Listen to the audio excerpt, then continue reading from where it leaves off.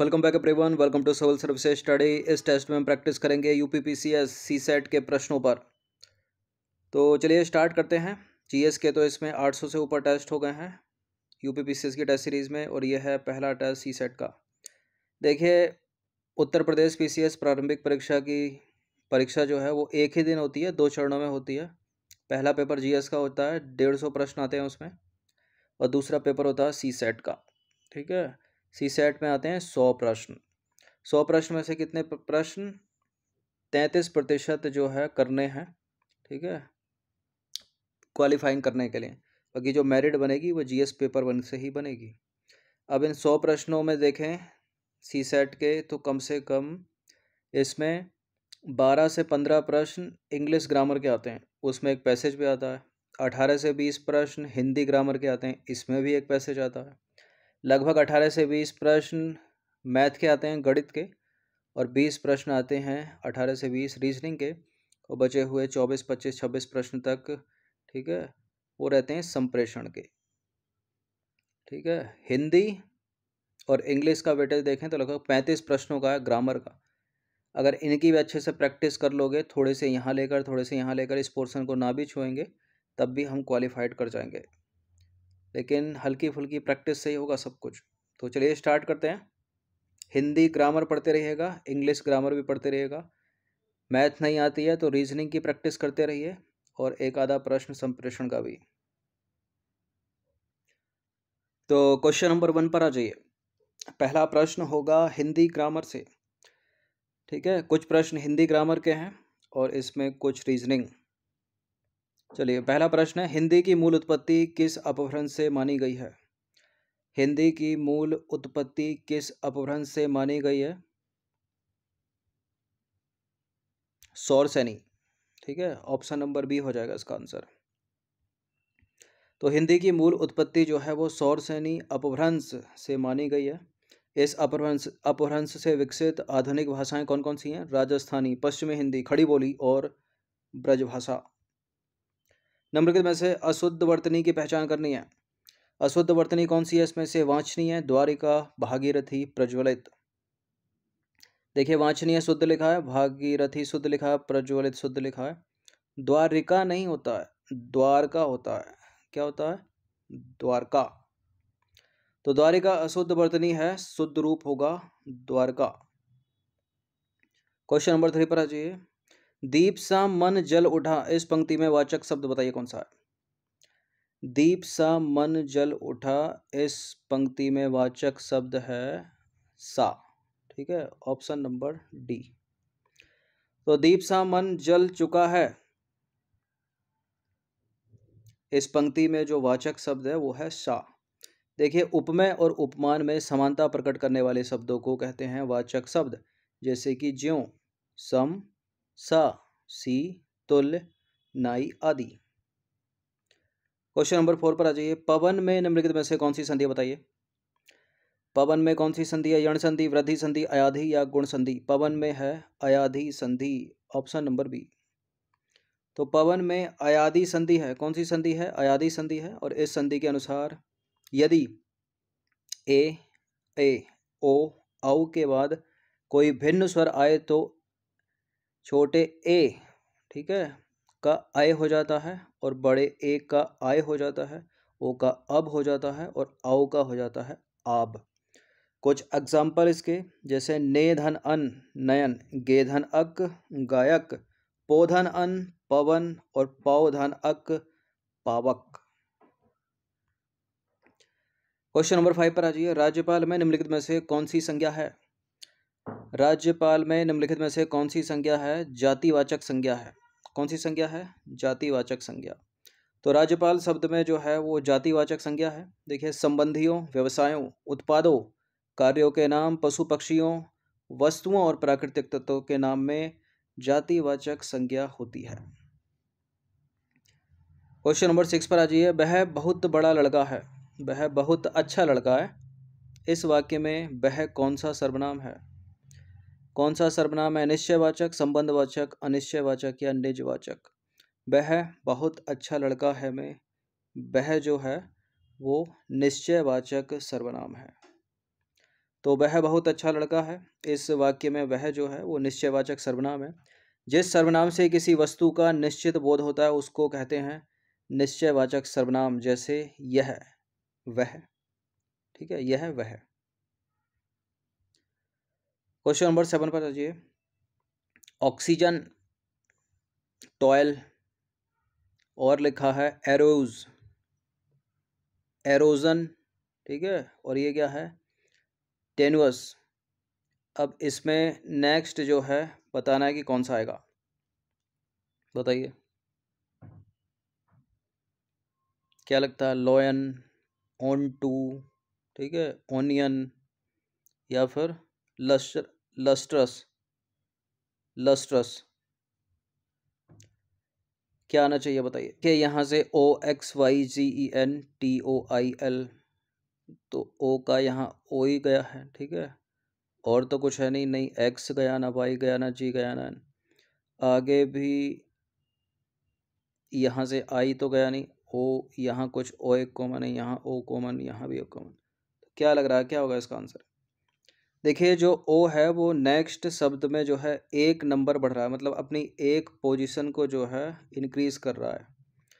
तो ओ यहाँ फ़र्स्ट पे है। अगले शब्द में क्या हुआ, ओ दूसरे पर चला गया सेकंड पायदान पर। फिर क्या हुआ, देखिए, तीसरे पर आ गया है। फिर क्या हुआ है चौथे पर आ गया है। फिर क्या हुआ है पाँचवें पर आ गया है। One two three four five और आगे आ जाएगा छठे पर। अब देखिए यहाँ पर तो तीसरे पर है, चौथे पर है, चौथे पर है, इनको एलिमिनेट कर कर दीजिए तो इसी में आ जाएगा, ठीक है लस्ट्रस मतलब इसका आंसर हो जाएगा डी तो इस तरह से भी प्रश्न बनाए जा सकते हैं। तो देखिए लस्ट्रस शब्द दिए गए अनुक्रम में प्रश्नवाचक चिन्ह के स्थान पर होगा, क्योंकि दिए गए शब्द अनुक्रम में ओ अक्षर क्रमशः one two three four five स्थान जो है वो आगे बढ़ रहा है हर शब्द में, अतः ओ छठे स्थान पर होगा। तो यही शब्द जो है, सही रूप से इसका सही उत्तर है। नंबर एट पर आ जाइए। ज़ीरो के बाद दो दो के बाद छः छः के बाद क्वेश्चन मार्क मतलब इनमें से कोई आगा, फिर बीस, फिर तीस, फिर बयालीस। क्या है? बताइए।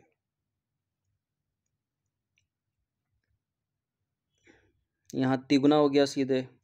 यहाँ क्वेश्चन मार्क फिर ये दो गुना तक नहीं है यहाँ पर यहाँ भी दोगुना नहीं है। क्या लगता है?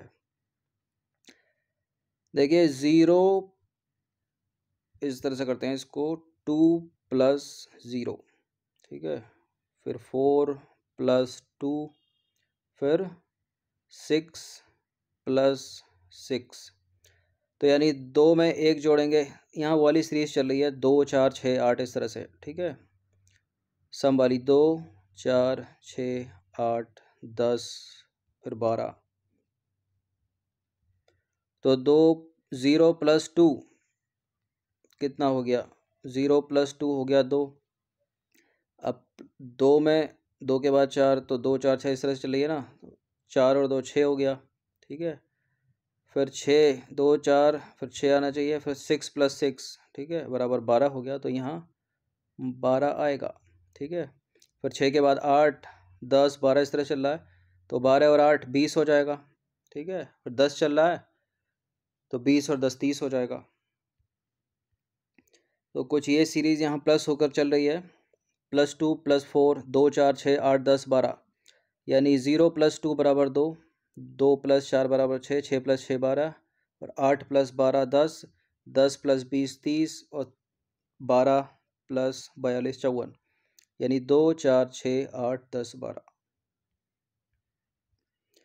क्वेश्चन नंबर नाइन पर आ जाइए। जिस प्रकार दुखी से हसमुख है तो उसी प्रकार बताइए, सहिष्णु से क्या होगा? दुखी से हसमुख तो एक तरह से अपोजिट हो गया तो विलोम हो गया उसी प्रकार। सहिष्णु से क्या होगा? सहनशील, भयानक, उदास या प्रतिवादी? प्रतिवादी हो जाएगा, ठीक है? ऑप्शन नंबर बी तो जिस प्रकार दुखी का विपरीत विपरीतार्थक शब्द है हसमुख। उसी प्रकार सहिष्णु यानी टॉलरेंट का विपरीतार्थक शब्द हो जाएगा प्रतिवादी। ठीक है? प्रोटेस्टिंग दसवां प्रश्न है, निम्नलिखित में से अशुद्ध वाक्य की पहचान करनी है आपको। हम तो अवश्य ही जाएँगे। हम दोनों में केवल यही अंतर है, यह कविता अनेक भाव प्रकट करती है। शब्द केवल संकेत मात्र हैं। बताइए। हम तो अवश्य ही जाएँगे। अवश्य के साथ ही यहाँ पर ब्लंडर मिस्टेक है। हम तो अवश्य जाएँगे। ही यहाँ पर अशुद्ध है। की आवश्यकता है ही नहीं यहाँ पर। ठीक है? हम दोनों में केवल यही अंतर है। हम दोनों में केवल यही अंतर है। ठीक है? हम दोनों में यही अंतर है। केवल निरर्थक है यहाँ। ठीक है? हम दोनों में यही अंतर है। केवल की आवश्यकता नहीं है। यह कविता अनेक भाव प्रकट करती है। ये सही है। यहाँ अगर अनेकों होता ना, अनेकों भाव प्रकट करती है तो गलत हो जाता। शब्द केवल संकेत हैं, ठीक है? मात्र की आवश्यकता नहीं है, केवल के साथ गलत है। तो पहले वाले में ही गलत है, दूसरे वाले में केवल और तीसरे वाले में मात्र क्रमशः अनुचेतन तीनों। क्वेश्चन नंबर ग्यारह पर आ जाइए। बड़वानल शब्द के लिए एक उपयुक्त वाक्यांश है। बड़वानल शब्द है, क्या? घर में लगने वाली आग नहीं है? वन में लगने वाली आग तो दावानल होती है, समुद्र में लगने वाली आग और पेट की अग्नि होती है, जठराग्नि। तो समुद्र में लगने वाली आग वाक्यांश के लिए एक शब्द होगा, उपयुक्त शब्द बड़वानल पेट की अग्नि, जठराग्नि और वन में लगने वाली आग दावानल ये तीनों याद रखना। क्वेश्चन नंबर बारह पर आ जाइए। निम्नलिखित में से किसका पर्यावाची रक्तलोचन नहीं है? ये रेड हो गया, इसका मतलब ये उत्तर नहीं है। निम्नलिखित में से किसका पर्यावाची रक्त लोचन है? ठीक है रक्त लोचन किसका पर्यावाची है बताइए। नेवले का कबूतर या कोयल? कबूतर का पर्यावाची है रक्त लोचन तो रक्त लोचन कबूतर का पर्यावाची है, कबूतर के अन्य पर्यावाची पर्यावाची देख लीजिए कौन कौन से। कलरव, कपोत और कलरावत। क्वेश्चन नंबर तेरह पर आ जाइए। निम्नलिखित में से अशुद्ध वाक्य की पहचान करनी है। अशुद्ध, यानी तीन होंगे यहाँ शुद्ध और एक होगा अशुद्ध। इसी को अपने को ढूंढना है। व्यायाम करना चाहिए ताकि हम स्वस्थ रहें। शास्त्री जी की मृत्यु से हमें बड़ा दुख, खेद हुआ और मुझसे यह संभव नहीं। मेरे लिए बर्फ़ और आग लाओ। देखिए, पढ़ते पढ़ते ही सही उत्तर खुद ही निकल जाता है मुँह से। ठीक है? शास्त्री जी की मृत्यु से हमें बड़ा खेद नहीं हुआ, बल्कि दुख हुआ दुख। ठीक है? दुख हुआ। बाकी व्यायाम करना चाहिए ताकि हम स्वस्थ रहें, सही है। और मुझसे यह कार्य संभव नहीं है, यह भी शुद्ध है। अगर यहाँ काम लिखा होगा तब भी शुद्ध है। मेरे लिए बर्फ़ और आग लाओ, इसमें भी कोई दिक्कत नहीं है। तो शास्त्री जी की मृत्यु से हमें बड़ा दुख हुआ, ठीक है? तो खेद के स्थान पर दुख का प्रयोग होगा तभी सही होगा, उचित भी होगा वो। नंबर फोर्टीन पर आ जाइए, फिर से रीजनिंग आ गई है। देखिए, कुछ सहेलियाँ अपनी आयु के अनुसार एक दूसरे से बड़ी और छोटी हैं। ठीक है, कलर चेंज कर लेते हैं। बड़ी और छोटी हैं और यह भी दिया है मतलब कुछ दिया भी है। क्या दिया है कि टीना मीना से बड़ी है लेकिन इतनी बड़ी नहीं, जितनी रीना। बीना मीना से छोटी है लेकिन इतनी छोटी नहीं, जितनी एना यदि इन सभी सहेलियों को इनकी आयु के अनुसार अवरोही क्रम में, यानी बड़े से छोटे के क्रम में रखें तो निम्नलिखित में से कौन मीना से ठीक बड़ी है? देखिए, यदि इस तरह के प्रश्न आए, चाहे वो आयु के क्रम में आए या फिर हाइट उनकी लंबाई के क्रम में आए तो सही तरीका यही है, जैसे जैसे बोल रहा है, वैसे वैसे रखते जाइए, ठीक है? और ऊपर ही रखना, ऊपर नीचे करके। तो क्या बोला, यहाँ से स्टार्ट करते हैं, टीना मीना से बड़ी है। तो टीना मीना से बड़ी है, ठीक है? टीना मीना से बड़ी है टीना को लिख दीजिए, मीना को नीचे लिख दीजिए। अब टीना जो है, वो मीना से बड़ी हो गई। लेकिन इतनी बड़ी नहीं जितनी रीना। ठीक है, टीना इतनी बड़ी नहीं है जितनी रीना तो रीना को टीना के ऊपर लिख दीजिए। अब अगली लाइन क्या है? बीना मीना से छोटी है। अब इन तीनों से उन दोनों का कोई मतलब नहीं है। ठीक है तो लिखेंगे कहाँ इसको? अलग लिख दीजिए, नीचे लिख दीजिए। ठीक है, नीचे लिख देंगे, नीचे जगह नहीं है तो हम लिखेंगे यहाँ।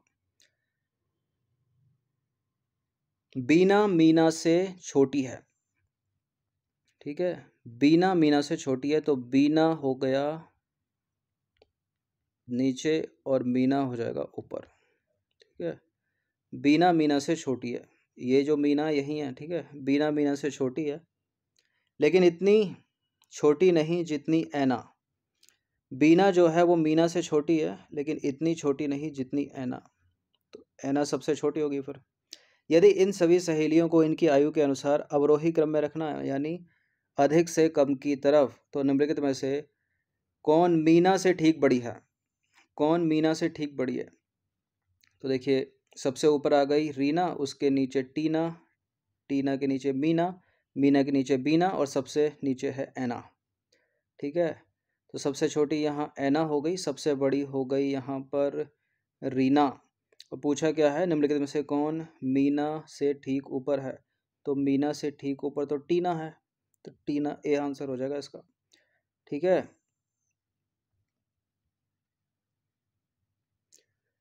तो देखिए, उपर्युक्त सहेलियों का जो अवरोही क्रम होगा, कम से अधिक की ओर, सबसे बड़ी रीना रीना से छोटी टीना टीना से छोटी मीना मीना से छोटी बीना, और सबसे छोटी ऐना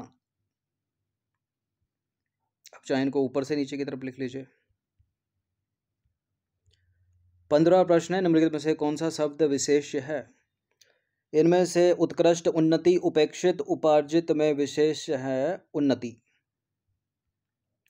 तो उन्नति विशेष शब्द है, जिसका विश्लेषण रूप क्या होगा? उन्नत, उपार्जित, उपेक्षित और उत्कृष्ट जो है, वो विशेषण शब्द हैं, जिनके विशेष रूप क्रमशः होंगे।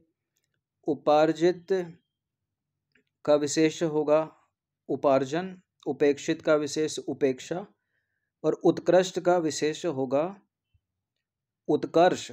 ठीक है? विशेष है ये विशेष? क्वेश्चन नंबर सिक्सटीन पर आ जाइए। जब पानी बरसता है तब मेढक बोलते हैं। इस वाक्य में जब पानी बरसता है, कौन सा वाक्य है?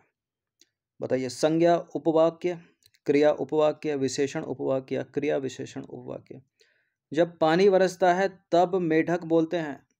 जब पानी बरसता है, तब मेढक बोलते हैं। इस वाक्य में, जब पानी बरसता है, में वाक्य होगा क्रिया विशेषण उपवाक्य। तो जब पानी बरसता है, तब मेढक बोलते हैं। इस वाक्य में, जब पानी बरसता है, वाक्य क्रिया विशेषण उपवाक्य है। देखिए, क्रिया विशेषण उपवाक्य शब्दों का वह समूह है, जो अपना विशेष उद्देश्य एवं विधेय रखता है और एक क्रिया विशेषण का कार्य करता है। क्वेश्चन नंबर सत्रह पर आ जाइए। बीस प्रश्न है इसमें वैसे आस्तीन का साफ़ मुहावरे का अर्थ। आसान सा प्रश्न। बहुत आसान। कपटी मित्र। ठीक है? साथ देने वाला नहीं होगा, वफादार नहीं होगा। तो आस्तीन का सांप मुहावरे का अर्थ है कपटी मित्र। क्वेश्चन नंबर अठारह पर आ जाइए। निम्नलिखित में से, निम्नलिखित शब्द में अव्यय भाव समास नहीं है। देखिए, बीस, अठारह से बीस प्रश्न है। पाँच से छः प्रश्न तो आएँगे, उसमें एक पैसेज आएगा, उसमें से पाँच प्रश्न बन जाएँगे। अब एक तत्सम तद्भव भी हो सकता है, एक समास विग्रह हो सकता है, शुद्ध, अशुद्ध शब्द भी हो सकता है, शुद्ध, अशुद्ध वर्तनी भी हो सकती है। ठीक है? विलोम शब्द हो सकते हैं, विशेषण विशेष हो सकते हैं, पर्यायवाची हो सकते हैं। ठीक है? समीक्षा अधिकारी में तो केवल दस टॉपिक हैं, हिंदी के, ठीक है? सॉरी छः टॉपिक हैं और एक से कम से कम दस दस प्रश्न आते हैं उसमें, ठीक है? और बाकी इसमें जो है हिंदी में पूरा है, कुछ भी पूछ सकते हैं अठारह बीस प्रश्नों में। तो अव्यय भाव समास यहाँ नहीं है, ग्राहगत में। ग्राहगत में जो है वो तत्पुरुष समास है। ठीक है? तत्पुरुष समास है। भरपेट में अव्यय भाव है, बखूबी अव्यय भाव है, परोक्ष में अव्यय भाग है। भाव। तो ग्राहगत मतलब ग्रह को आगत में तत्पुरुष समास है। बाकी बखूबी, भरपेट और परोक्ष में जो है, वो अव्ययी भाव समास है। चलिए क्वेश्चन नंबर नाइनटीन पर आ जाइए। दी गई श्रृंखला में गलत संख्या पद ज्ञात करना है अपने को।